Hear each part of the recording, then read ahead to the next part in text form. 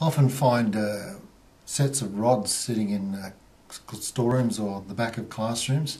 Often they look a little bit like this, maybe the colour's gone out of them a little bit.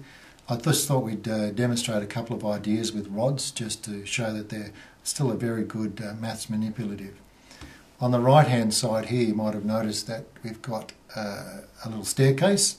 I call this a white step staircase because the gap between each piece is a white piece and you see it build up there and so forth. I tend to avoid linking the colours with numbers because later on when we want to use uh, this material for fraction work we have to rename them.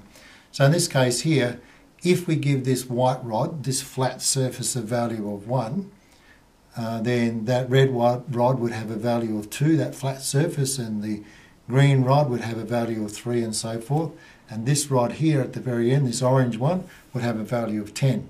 So a question or a task I like children to try and work through is what would be the area of just that flat part of that staircase, so across there. That'll keep them busy for a little while and involves quite a bit of thinking. But what we'd like to do is just focus with these jumbo rods here about why it is that we don't want to give specific uh, numbers to the colours of the rods. I always like to use what's called an if-then statement. So here we have a brown rod all right, in this previous one with the uh, staircases, this would have a value of 8 if we gave the white rod a value of 1. In this case here, I'm going to say that this whole brown rod has a value of 1. In which case, these rods here, you have two equal pieces, they would be half. And when I've got to these red rods, they would represent one fourth. And when you get to these white rods, there's eight equal rods that would fit along there, each one of them would represent one eighth. So you can start to see how we can do some fraction ideas with this material. Let's just take one idea.